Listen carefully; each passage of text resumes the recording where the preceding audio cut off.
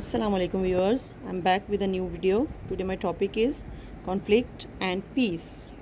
First of all let me define what is conflict. Disagreement or struggle between two or more people is called a conflict. And what is peace?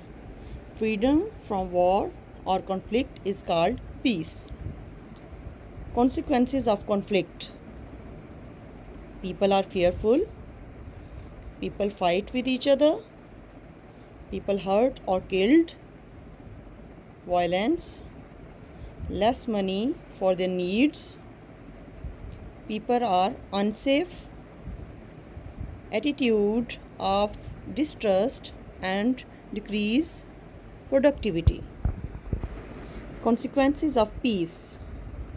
People are happy, people have no fear people live in harmony.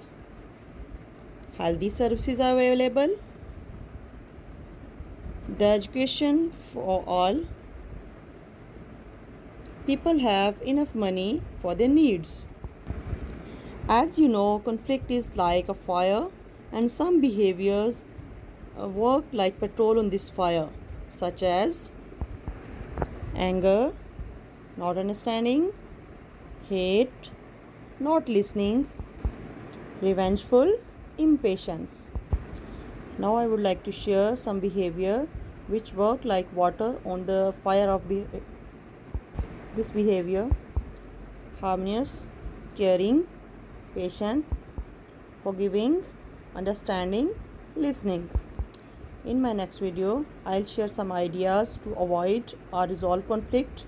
So wait for my next video. Till then, Allah Hafiz.